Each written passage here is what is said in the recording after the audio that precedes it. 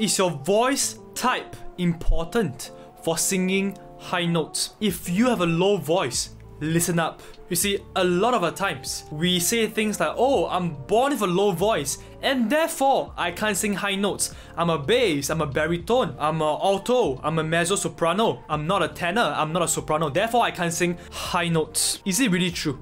By the end of this video, you'll understand why. Not only do low voices have the capability and the ability to sing high notes, in fact, low voices, low and big voices, they have the advantage over tenors and sopranos when it comes to singing a certain type of high note. First of all, before I even continue, let's first understand why does all these terms they even exist in the first place? You see, they exist for a very good reason. In the choir, that's how they allocate singers to different parts and different melody, different harmonies of the song. The bass sings the low notes, the tenor sings the melody, the baritone sings the melody in a lower octave maybe, and then the alto sings harmony, and then soprano gets the higher melody, also on. The reason why they do that in the choir is so that blending the voices becomes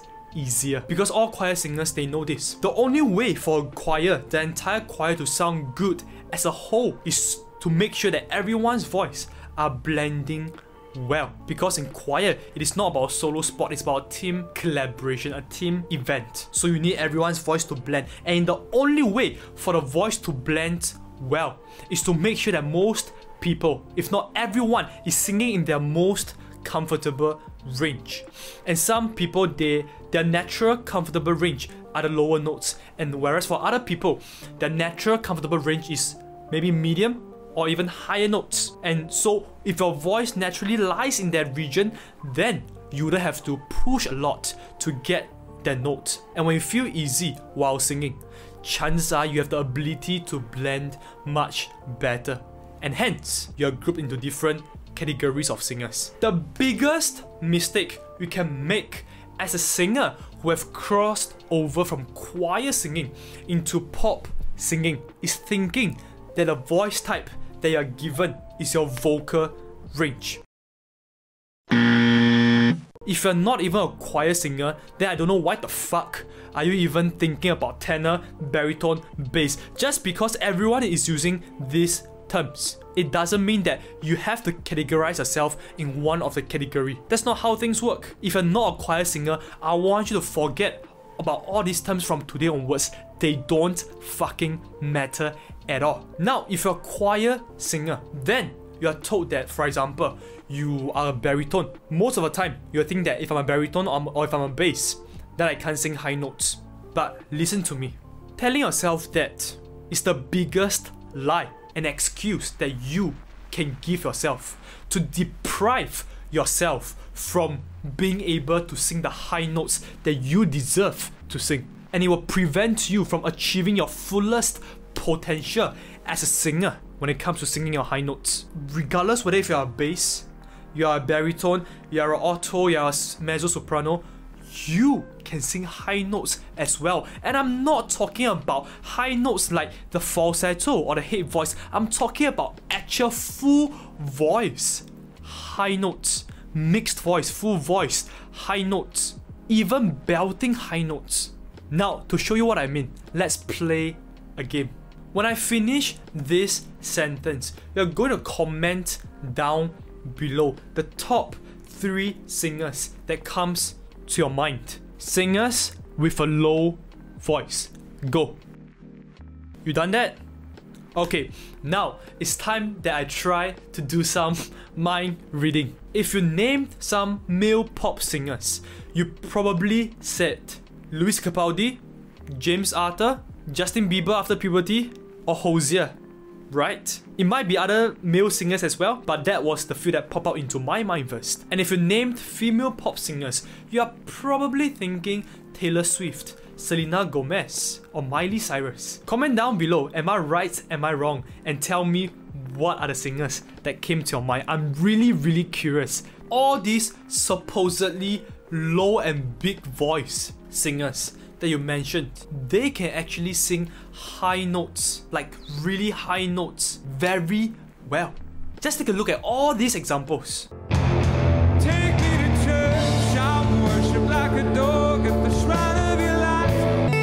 You can say what you don't I wouldn't die for it.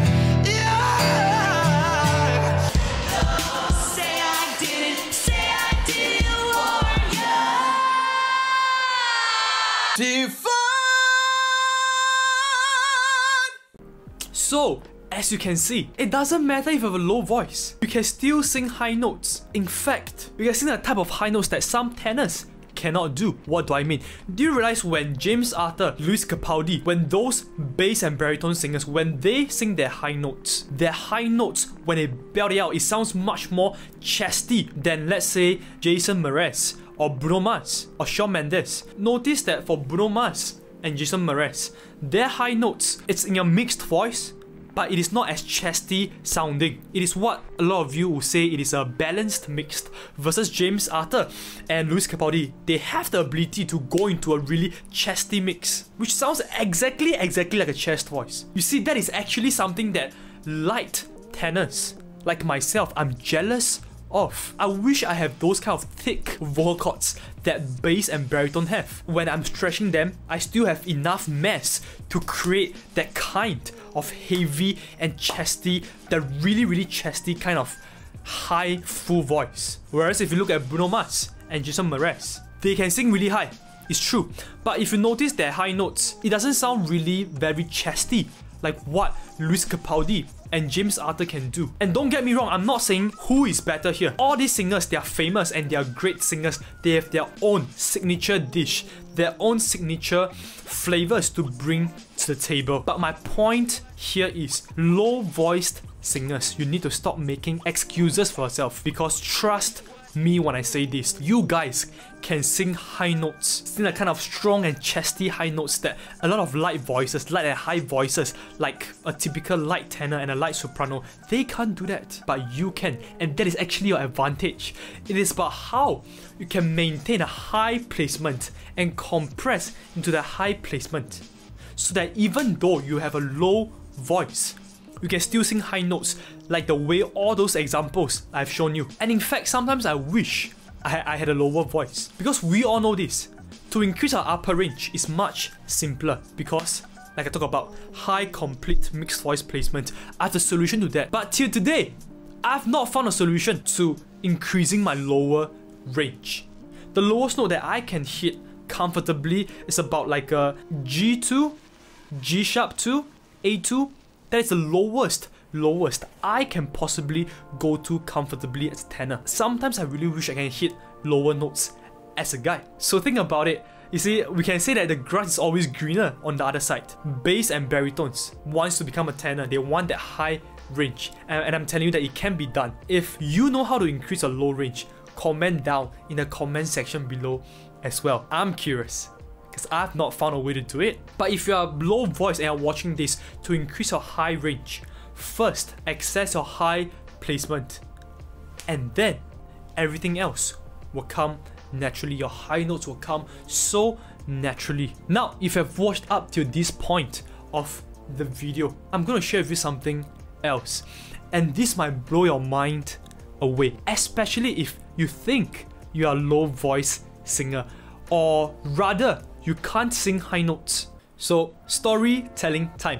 When I was 14 years old, I joined my school's choir. When I went in, the teacher was just playing some scales on the piano and she told me to sing. And then I sang Do Re Mi. And then she looked at me and she said, Okay, um, you will be a baritone.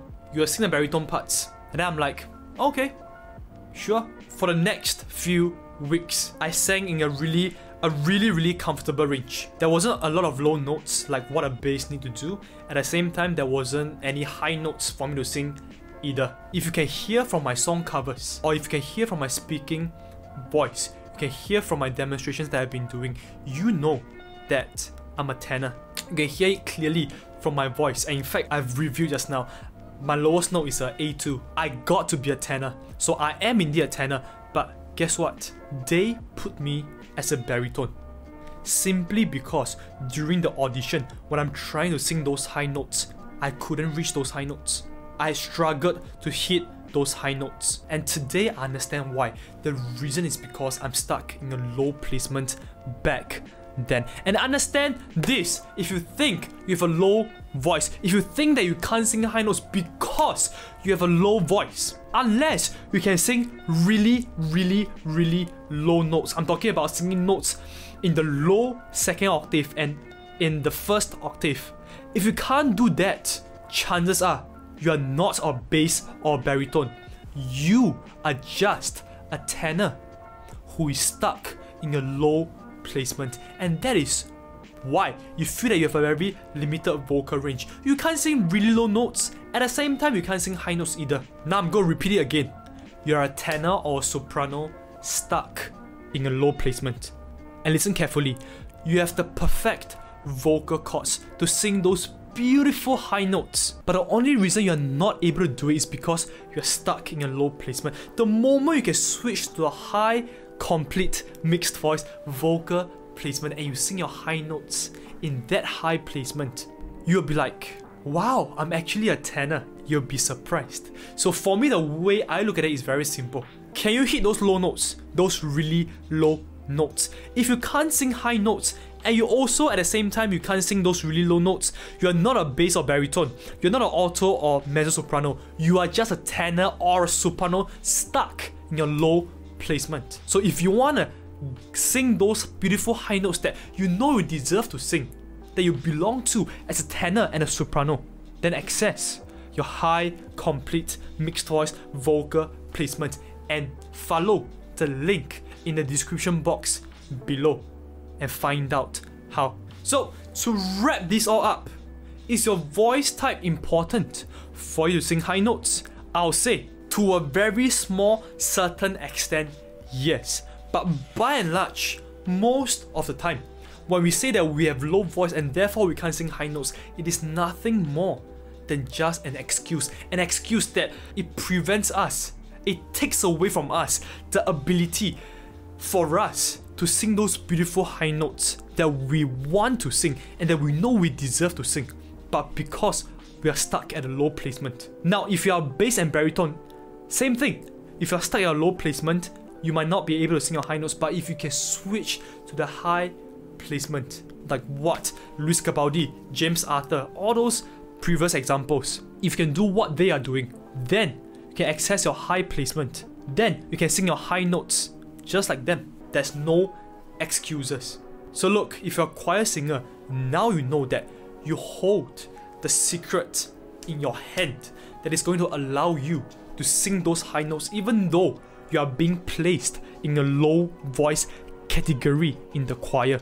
You now own and possess this power to be able to belt and sing those beautiful high notes. Don't get me wrong, if you want to blend in in a choir, you can still do so.